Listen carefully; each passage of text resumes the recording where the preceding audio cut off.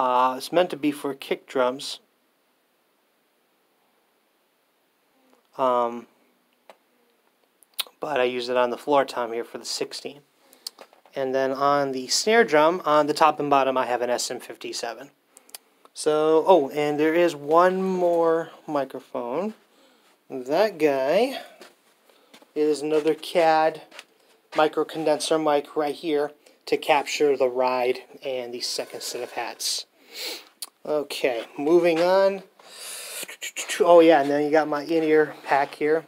So there's again Phoenix Audio. This is the belt pack receiver. And you got my in-ears. Um, been experimenting with different ears and right now I'm using the KZ uh, AS10s, I believe. They're five drivers per ear with uh, foam tips. And then I got an upgraded uh, cable here made by uh, Yinyoo. Uh, very, very nice cable. It's got this uh, adjustment bead to make the cables sit nice and um, close to your head rather than just flopping around. And I got this little uh, one foot um, headphone extension just because um, it was a little short for me. Uh, come down my back. I like to put my belt pack right in my front pocket, so that was that. So yeah, those are my ears. Um, I like them. Sound really good.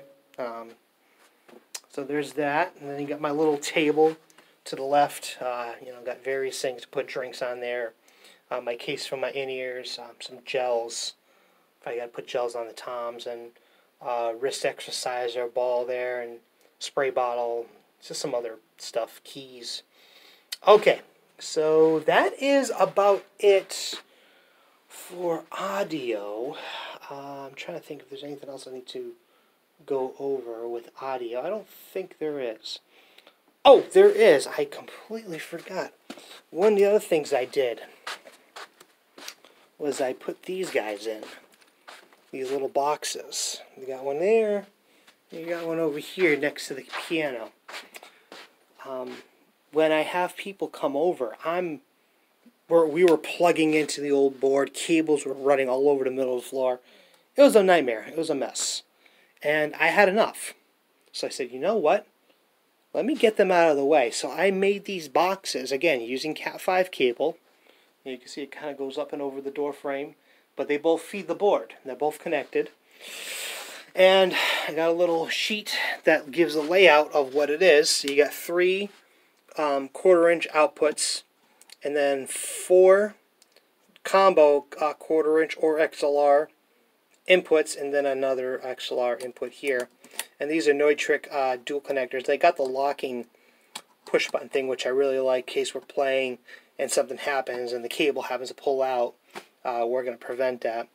As of right now, I got them on a wood um, faceplate, but I'm eventually going to replace that with metal once I get my drill press.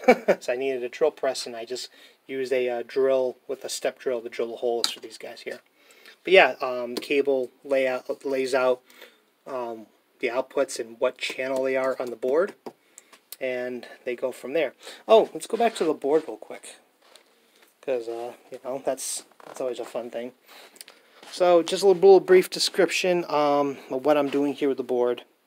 Uh, let's see here. So again, we're not listening anything through live amps. We're listening through um, monitor mixes. And so uh, here we go. You got my mix, uh, which is left and right. That way I can get the panning effect of the drums in my ears. So I have to have a stereo output.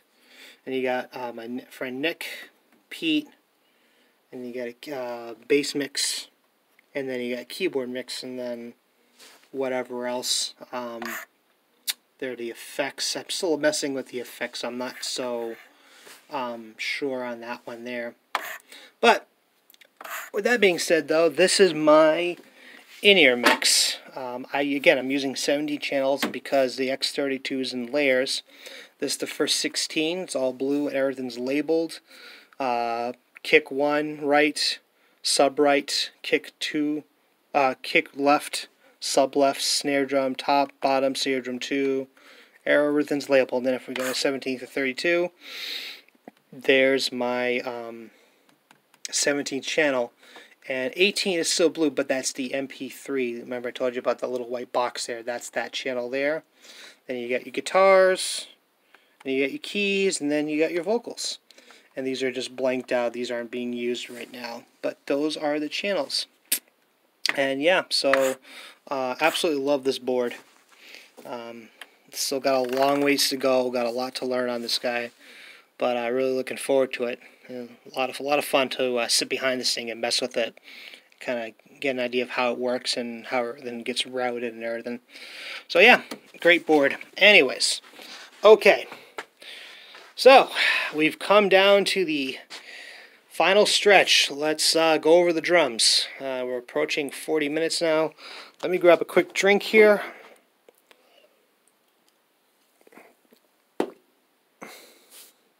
Okay, here we go. So, first and foremost, the drums.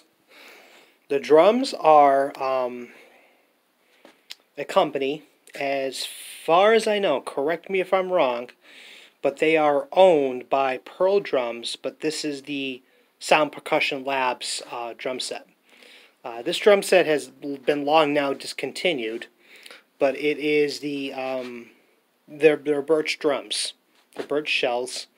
Um, these they don't make these anymore. These come with suspension tom mounts. As you can see right here, it's suspension tom mounts.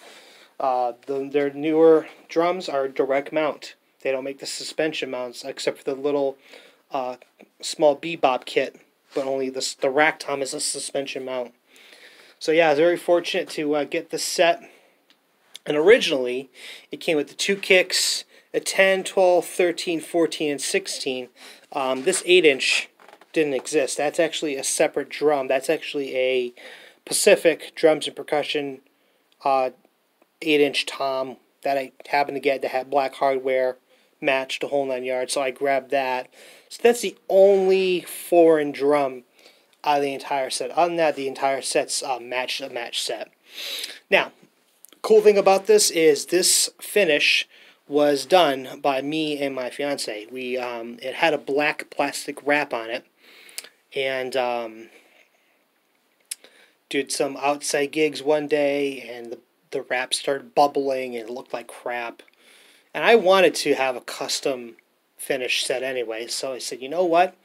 Let's make this a summer project. So over uh, a couple years ago, summer project we stripped the drums, took the plastic wrap off, and then uh, took a blowtorch, and I burnt uh, burnt those details with a blowtorch. Then took um, basically the same exact um, honey gold amber um, stain I used on that bass guitar. Uh, I uh, did that, but it's also shellacked as well, so it made it a little bit lighter. And I also finished the insides. I sealed the insides and the result is what you see. And uh, got a lot of compliments on them. I think they look beautiful. They sound great, and uh, yeah. So let's go over more finer details. And everything's mounted on a rack. It is a generic wannabe Gibraltar rack, but it functions just like a Gibraltar rack, so it works really well. Uh, three sides is the true rack. You got the far left, the front left and the front right, but the far right side I had to kind of jimmy rig. Um, it's actually a couple pieces of steel pipe and a couple 90 degree angle clamps, but that holds up the right side. So it works for now. So that's that side. Uh, well, let's see here. And uh, here we are from the uh, backside, again, we saw, uh, this is a 13-inch Orange um, County Drums and Percussion, uh, I believe it's Ash. A beautiful, deep, 7-inch snare, a lot of crack to it. Um, really nice uh, drum to play, and, you know, drew a little, you know, I was probably a little drunk one night and drew that face on there. What the heck, why not? So, uh, there's that, and then... Um, Again, 13 inch on the left 8, 10, 12, 14, 16, 14 inch snare, two 22 inch kicks um, for the main kicks there.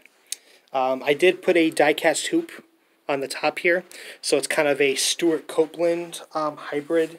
Uh, he has a signature snare Tama, but his shell is made of metal. He has a steel shell, but he has a die-cast hoop at the top and a triple flange on the bottom. So kind of a inspirational thing I had, but I wanted a die-cast hoop on the top of the snare. So there's that. Um, I'm using a combination of Evans and Remo heads. I'm using the EC2 Frosteds, the level 360 for the heads uh, uh, for my tom heads. I love the way they sound. Um, I like the sound of a of a coated head, but these aren't totally coated. They're frosted. Um, they got the sound control ring on the edge, and they're a bit warmer. So I really like the sound of them. And I have uh, Emperors, clear Emperors on the bottoms. This uh, bass drums um, got just a couple black heads on the front and power stroke threes on the beta sides, and then the snare drum, um, control reversed controlled sound on the top, hazy on the bottom, and uh, well, is the it's stock Orange County head. It's made by Remo, so coated head on top, hazy on the bottom, and that's the drums. So uh, there's that uh, hardware um, the mix, uh, Pearl, Gibraltar, SP sound percussion, whatnot. Uh, toys, we got a cowbell on the left, uh, Latin percussion tambourine, I'm sorry, uh, cowbell on the right, lamp percussion tambourine here on the left. And then we got a couple of uh, holders here. This holds uh, the phone that I'm on right now. And again, just streams wirelessly to the board. And then this will hold the iPad, so I can control the board have the iPad monitor right here and everything. Uh, okay, so let's get into oh and oh my Roc-N-Soc. Can't forget my Roc-N-Soc uh, throne here, which is a beautiful beautiful thing. It's like sitting in a recliner. It's so comfy. It's a hydraulic, and I added the uh, Gibraltar um, backrest, giving a little bit back support here, rather than both are you know crushed velvet lined and really really comfortable seat. Uh, see hardware on the bottom using two Tama iron oh, uh, two Tama speed cobra pedals, and then the main hat is uh, the stock sound percussion hi hat stand, and then the remote hi hat, which is over here, is the hi hat stand that I made um, using a hi hat stand I found at a secondhand shop and a bicycle shift cable. Uh, there's a YouTube video I think floating around somewhere on that, so watch check that out. Okay, let's get into cymbal land here. So I am a big time Sabian guy. So 90% of the cymbals are Sabians. So we're going to start from the left and move to the right. To the left, we have a modified 16-inch SBR crash. This is made out of brass, so it's a little it's a lower end cymbal, but I like the way it sounds. I drilled several holes kind of an inspired ozone effect into it. Can make it a little bit more darker and trashier. So there's that. Uh, these I love. The XSR series by Sabian. It's a newer line. Uh, these are their 14-inch hi-hats. Uh, I love the way these things sound. Uh, they can sound so clean and so dirty. It's great. Um, the only modification I made is I drilled two small holes to prevent airlock in the bottom cymbal. But on that, it's just as is. You have a 14 inch B8 crash, and again, um, modified. I took um, a ball peen hammer and hammered a handful of dimples in to darken it up a little bit, and uh, sounds really good. So there's that. And you got two splashes. You got a B8 Pro 8 inch splash and a B8 10 inch splash. And uh, here's where we come out of the Sabian zone. This is a Meinl um, bell, you know, because I uh, wanted a bell and yeah, and I love the way it sounds, nice, bright and pingy. And then uh, this guy here, this is the 18-inch XSR Fast Crash. Very, very loud, dirty, and responds very well. I like this guy. This is one of my favorite cymbals here. And then uh, back down here is where my influence with Mike Portnoy comes back in. This is his signature medium Max Stax, named after his son Max Portnoy, and uh, so there's that. And then um, my ride. so this is the ProSonix long discontinued ride. Um, love the way it sounds. It's darker. It's dirty. It's uh, I love the bell on that thing. Very defiant bell on that. And then the 13 inch um, SBR hats, which is the remote controlled set. That's the brass set there. And uh, that right there. um, so this is the second thing that came from um, my old drum set, my old Blue Apex drum set. This is my original um, take on a stack before I even knew what stacks are. I took uh, a couple old cymbals. I think one's a Sabian, one's a Zildjian. Uh, took them to a bandsaw, cut a not so symmetrical hole, drilled a bunch of holes, and put them together. And I like the way it sounds, and so it's different, and uh, that lives on, uh, part of the drum set. And then finally, you have a SBR, uh, I believe it's an 18 inch. Yeah, an 18 inch uh, China, and again, modified by drilling holes. Again, kind of inspired by the Chad Smith Holy China, but just not as many holes. So there's that. Uh, let's see here. What else? There's something else I was going to show you guys. Um, we've got a fan down here in the bottom, you know, keep me cool because the AC only does so much. Uh, oh, there was one thing I want to show you guys, and that is um, back here. Uh, my stick bag, which is a coffin case stick bag. I don't know if coffin case is still around, but holds all my extra sticks, hot rods, and whatnot. Uh, Vater percussion um, practice pad right there. And then uh, I got a stick holder, which holds a handful of extra sticks and everything. And then uh, here, my water shoes. Uh, I, I, I wear these when I play. I don't wear normal shoes. I don't play. I don't play without shoes. But this is kind of the gap between the two. It gives me the grip and the flexibility I need to play. So there's that, and I think that is it. Can't think of anything else, guys. Wow, we're approaching a little, a little over 50 minutes. If you made it this far, hey, seriously, thank you, and you know, definitely leave some comments and uh, some good vibes. I'd appreciate it. All right, guys. Well, that's about gonna do it for me. So uh, I will let you guys go. Thanks for watching. Keep rocking on.